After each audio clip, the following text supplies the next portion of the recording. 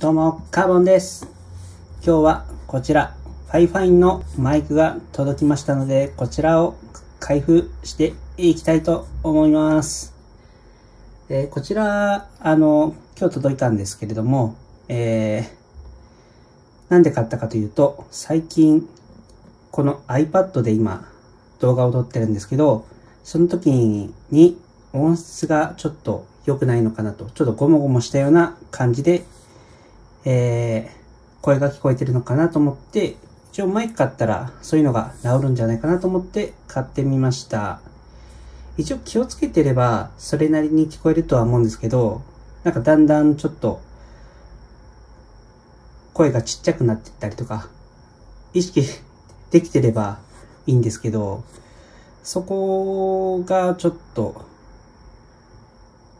問題だなと思っていて、まあ、意識しててもどうしてもちっちゃくなる時とかあるんで、この、あの、良さそうなマイクにしたら、あの、綺麗に聞こえるんじゃないかなと思って買ってみました。じゃあ、早速開けていこうかと思います。えこちらは K の 683A という、えっ、と、型式のやつになってます。よいしょ。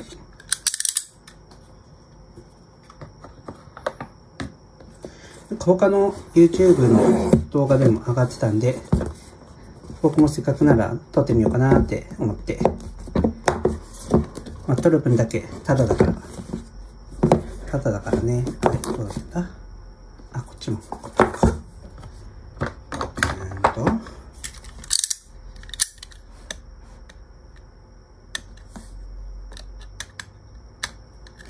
よいしょ。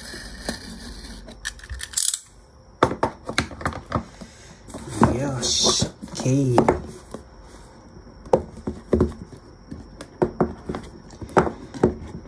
で、iPad で撮っていると、おこんな感じになってるんですね。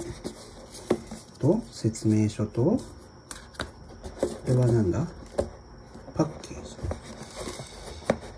うんと、これがマイクで、こっちが、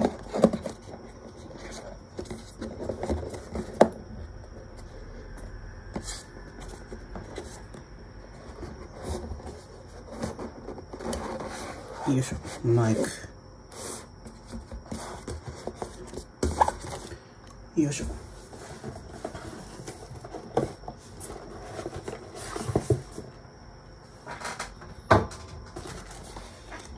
はい。こっちがスタンドなのかなあ、スイと金具とスタンド。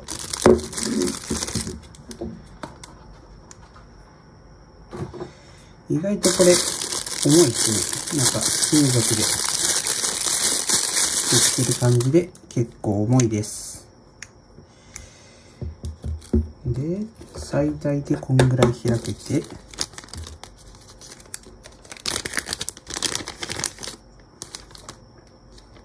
金具と、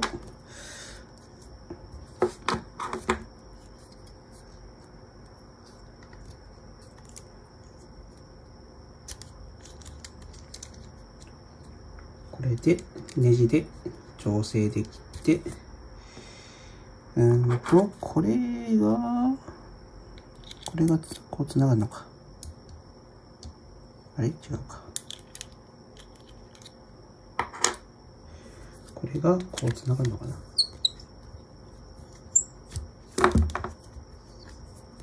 はい、はい、はい、は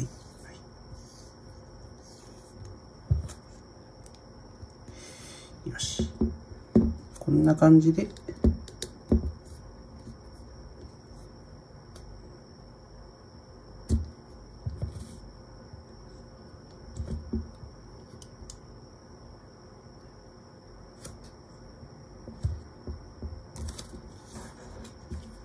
こんな感じで、よいしょ。こうしよう。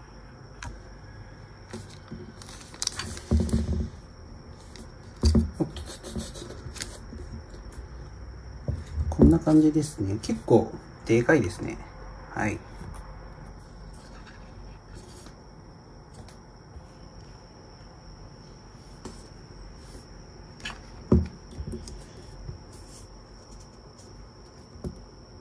よし。で、えー、それで、こちらのケーブルが iPad につなげられるように、えっ、と、こちら、普通のタイプの USB、A タイプっていうのかな？それと C タイプ。これが、あの、あったので、えっと、iPad につなげるのにちょうどいいのかなと思って、これにしてみました。じゃあ、あの、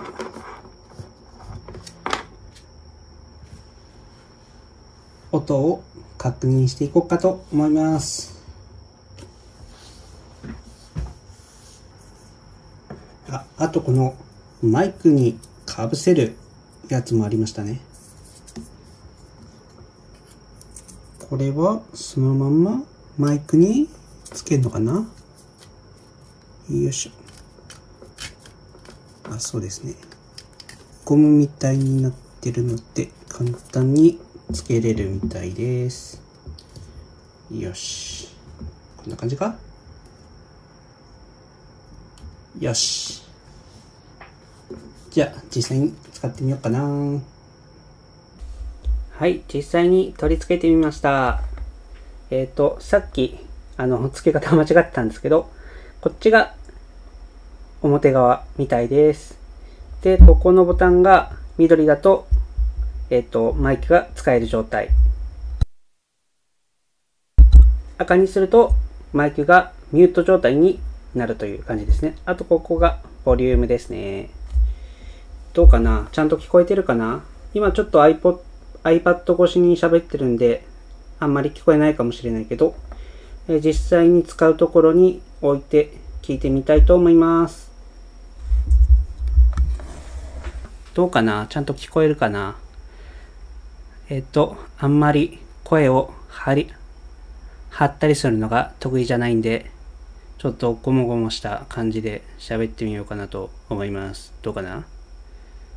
どうかな？どうかな？とかな？まあ、もう、もうちょっと、こんぐらいかな。